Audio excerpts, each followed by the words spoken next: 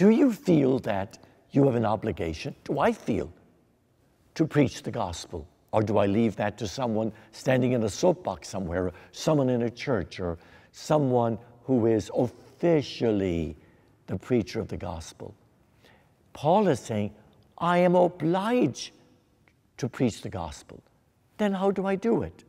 You can't get up in your office or you can't get up in the middle of your, of your dinner and say, Now I'm going to preach the gospel. And even on Sundays or weekdays, when the priest or deacon preaches, that's not preaching the gospel. Preaching the gospel is living the gospel.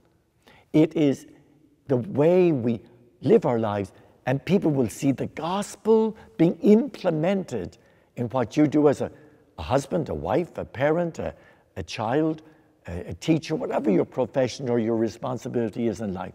What I do as a priest, all that preaching that I do, that means nothing unless my life says something about how I, am, how I struggle with the values of the gospel and then do my best to live them in my daily living.